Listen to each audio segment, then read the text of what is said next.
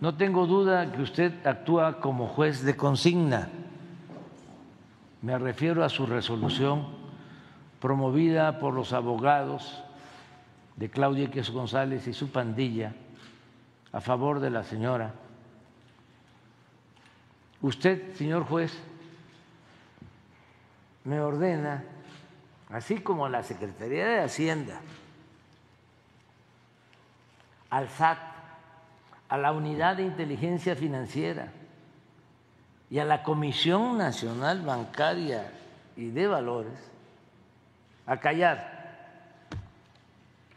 a censurar información que debe ser pública y que obtuve como parte del enorme acervo de mensajes y documentos que recibo diariamente de la ciudadanía.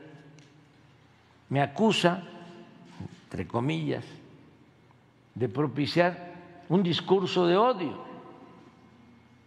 todo por dar a conocer la existencia de contratos firmados en los últimos nueve años por la empresa de la señora y su familia por más de 1.400 millones de pesos.